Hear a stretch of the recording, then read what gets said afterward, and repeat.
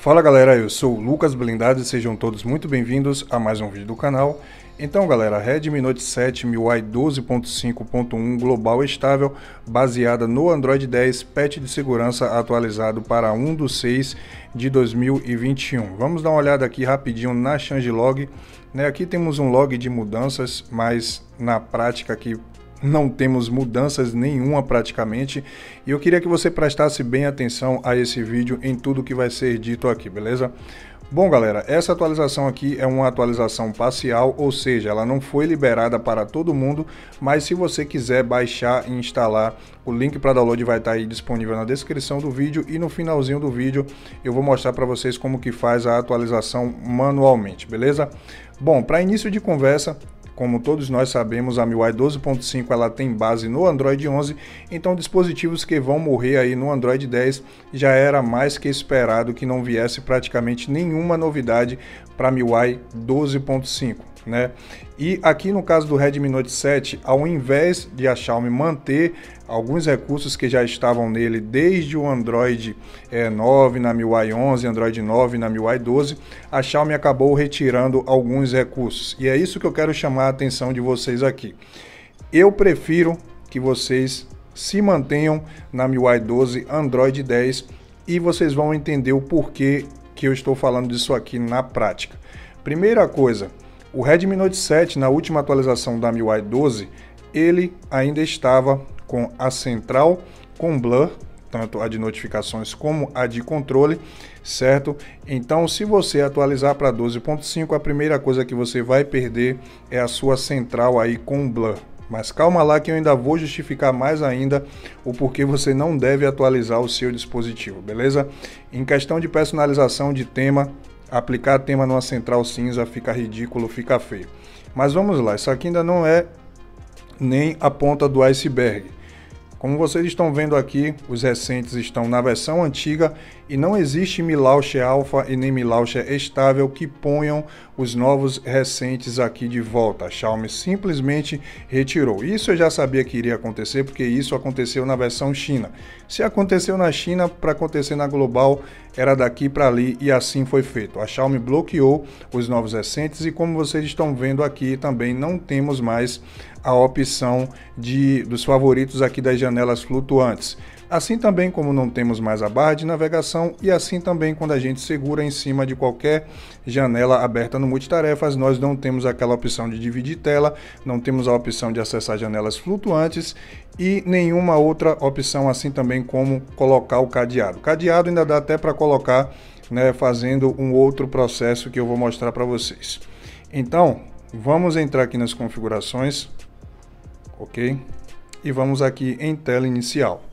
Aqui em tela inicial, nós não temos mais ordenar itens recentes e aqui em navegação do sistema, nós não temos mais aquela opção de ocultar é, a barra de navegação porque ela não existe mais.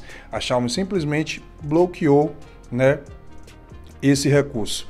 Para minha surpresa, a nova central ainda está aqui. Eu achei que eles iriam retirar também, mas não retiraram, né? Mas ela está cinza né?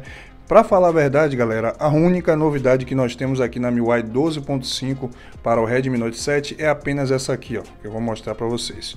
Aqui em Apps, nós temos agora a opção de gerenciar atalhos na tela inicial, ou seja, a gente consegue ocultar aqui alguns aplicativos da tela inicial. É a única novidade que nós temos aqui na MIUI 12.5 para o Redmi Note 7. Novo painel de volume só tem porque eu instalei manualmente, né? Assim também como o novo menu de reinicialização não tem, certo? Assim também como não tem o novo layout na câmera aqui, certo? Não tem também. E é como eu falei para vocês, é uma atualização que retira recursos e não que coloca recursos. Então, se for para atualizar para MIUI 12.5 para perder barra de navegação, blur na central de controle, é, atalhos de janelas flutuantes, opções de tela dividida, de colocar o cadeado e tudo mais, fica na MIUI 12 que você vai poder aplicar seus temas, você vai ter a sua barrinha de navegação, você vai ter os seus novos recentes e todos os outros recursos que foram retirados aqui.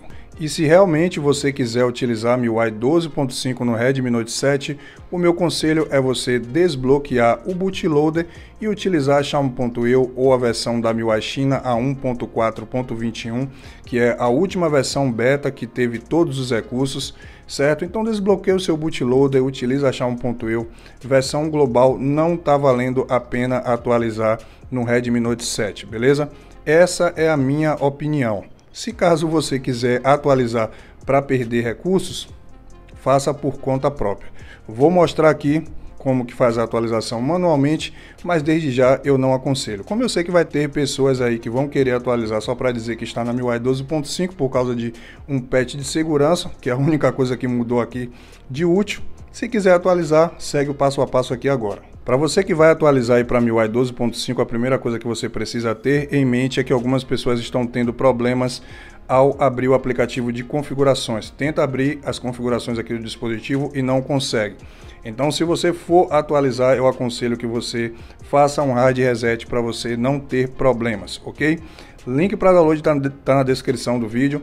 Para você que vai atualizar, você vai baixar aí a ROM que está na descrição do vídeo, vai em sobre o telefone, versão do MIUI, aqui você vai clicar várias vezes no logo da MIUI 12 até liberar essa opção aqui. Liberou essa opção, vem aqui nos três pontinhos, vamos lá, e aqui você vai até escolher pacote de atualização. Aqui ele vai abrir o armazenamento interno, você vai até a pasta download, que é onde deve estar o arquivo que você baixou aí certo? Seleciona o arquivo, clique em OK, ele vai pedir para reiniciar e atualizar, beleza? Então é só fazer isso para você que quer atualizar, certo? Vou deixar aí na descrição do vídeo a Mi Launcher com feed da Google, a última que funcionou com feed da Google. Vou deixar aí também na descrição do vídeo a última versão do novo painel de volume, caso você queira utilizar aí. E é isso, não tem mais nada o que falar, não tem mais nada o que mostrar. Se vocês curtiram esse vídeo, não se esqueçam de deixar o like. Estamos juntos e até a próxima.